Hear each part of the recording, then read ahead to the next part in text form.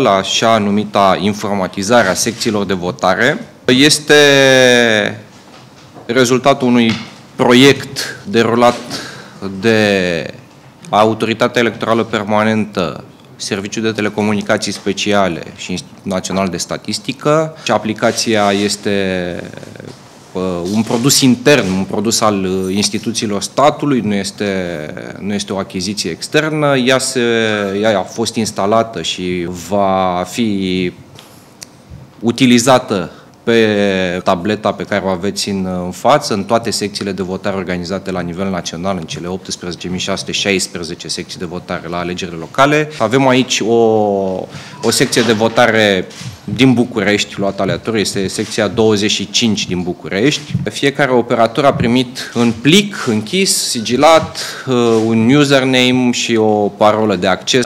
Aplicația are două componente, după cum știți. O componentă este aceasta de monitorizarea prezenței la vot și de prevenirea votului ilegal.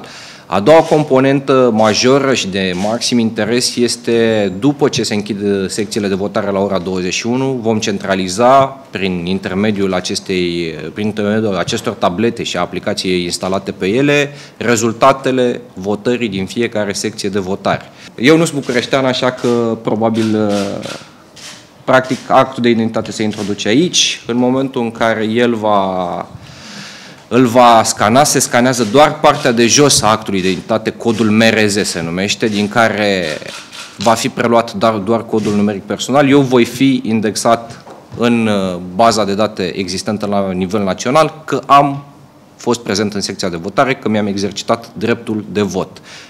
Dacă voi încerca să mă prezint la o altă secție de votare, ulterior voi uh, suporta rigorile legale, voi risca închisoare. Putem să nu fie scanat, adică dacă ne opunem scanării actului de identitate, dar repet, nu se scanează cartea de identitate în integralitate, doar partea de, de jos, uh, se va prelua de la tastatură așa cum v-am arătat, codul numeric personal.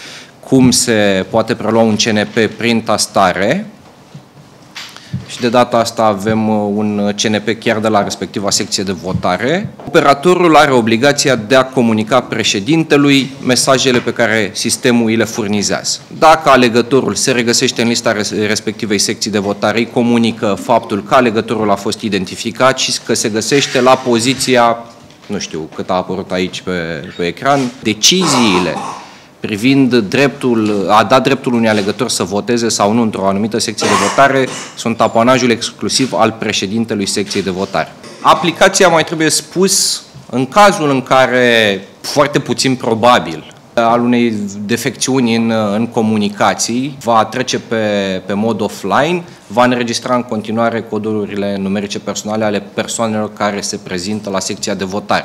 În momentul în care comunicațiile sunt restabilite, atunci toate CNP-urile introduse în aplicație în modul offline vor fi indexate automat în, în baza de date centrală și mesajele vor veni automat pe aplicație. Dacă vom constata, Doamne ferește, în acel moment că avem un caz de vot ilegal, organele de poliție vor fi, vor fi alertate. Se va instala o extensie a sistemului la centrul operativ de, de la Ministerul Afacerilor Interne și toate cazurile tentativele de vot ilegal vor fi semnalate cu promptitudine Ministerului Afacerilor Interne, care prin echipajele mobile pe care le are dispuse în țară va lua măsurile care se impun. Riscul să se blocheze sistemul integralitatea lui nu există. Fiecare tabletă are o cartelă GSM care funcționează în, în 3G. Aceste cartele au fost instalate de către STS în funcție de puterea releelor pe care le au în diferite zone. Dacă internetul de pe cartelă pică, care este sursa principală de transmitere de date, se trece pe automat pe Wi-Fi-ul existent în locația respectivă. Dacă se strică, există o rezervă de 20% de, de astfel de tablete care pot fi utilizate în funcție de necesități. Se închid secțiile de votare, ora 21, nu e așa? Și îl rog pe colegul meu să vă, să vă arate și partea a doua, să închidă secția de votare. Uh, pe ecran vor apărea procesele verbale așa cum sunt ele tipărite pe hârtie și fiecare operator de calculator din secția de votare va trebui să uh, încarce acestea sunt procese verbale electronice, datele centralizării rezultatelor votări, rezultatului votării din respectiva secție de votare, așa cum ele îi sunt comunicate de către președintele secției de votare.